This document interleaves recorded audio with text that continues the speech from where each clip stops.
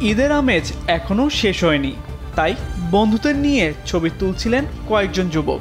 এরই মধ্যে ছবি তোলা নিয়ে শুরু হয় বাগবিতণ্ডা পরে তার ঠেকে মারামারিতে গিয়ে। ঘটনার শেষ এখানেও না। সেই খবর পৌঁছে যায় তাদের গ্রামগুলোতে।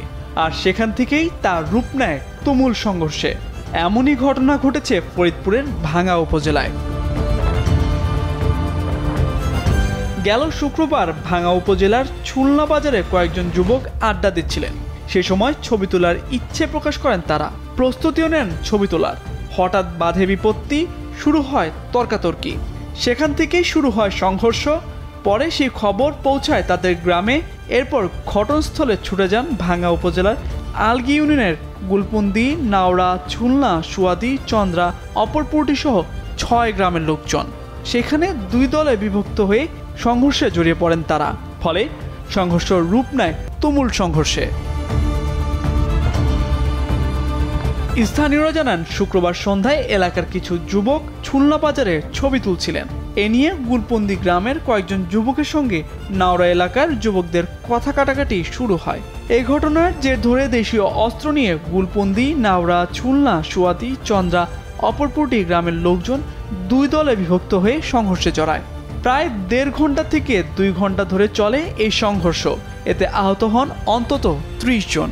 এই ঘটনায় আহতদের মধ্যে অনেকেই ভাঙ্গা উপজেলা স্বাস্থ্য কমপ্লেক্স ও ফরিদপুরের বঙ্গবন্ধু শেখ মুজিব মেডিকেল কলেজ হাসপাতালে চিকিৎসাধীন রয়েছেন। এই ঘটনার পরপরই ঘটনাস্থলে পুলিশ পাঠানো হয়েছে বলে জানিয়েছে ভাঙ্গা থানা পুলিশ। এ বিষয়ে অভিযোগ পেলে আইনানুগ ব্যবস্থাও নেওয়া হবে বলে জানানো হয়। শট বিষয়টা দুই পক্ষ এলাকার আধিপত্য নিয়ে উত্তপ্ত হয়েছিল। আমাদের পুলিশ উপস্থিতির পর পরিস্থিতি নিয়ন্ত্রণ করা হয়েছে। এখন ওখানে কোনো সমস্যা নাই। আর এই ব্যাপারে কোনো পক্ষ থেকে ইঞ্জুরি সংক্রান্ত কোনো অভিযোগ আমরা এখনও পাই না অভিযোগ প্রাপ্তি সাপেক্ষে আইনগত ব্যবস্থা গ্রহণ করা হবে। এদিকে এ ঘটনার পর থেকে ওই এলাকায় থমথমে পরিস্থিতি বিরাজ করছে।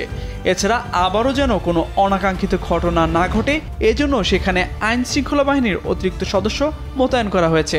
আর এমন তুচ্ছ ইস্যুকে কেন্দ্র করে সংঘর্ষের ঘটনায় সামাজিক যোগাযোগ মাধ্যমে বইছে আলোচনা সমালোচনার ঝড়। এর আগে গেল বুধবার ভাঙ্গা উপজেলায় আধিপত্য বিস্তারকে কেন্দ্র করে দুই গ্রুপের মধ্যে সংঘর্ষ হয়। সেই সংঘর্ষে আহত হন অন্তত দশ জন। সে সময় পুকুরিয়া এলাকায় আধিপত্য বিস্তারকে কেন্দ্র করে হারুন মোল্লা ও করিম মাতব্বরের সমর্থকদের মধ্যে সংঘর্ষ হয়। তখন উভয় পক্ষের মধ্যে ধাওয়া পাল্টা ধাওয়ার ঘটনা ঘটে।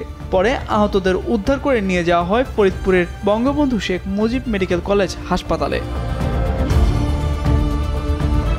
তামজিদ মির্জা Kalvela.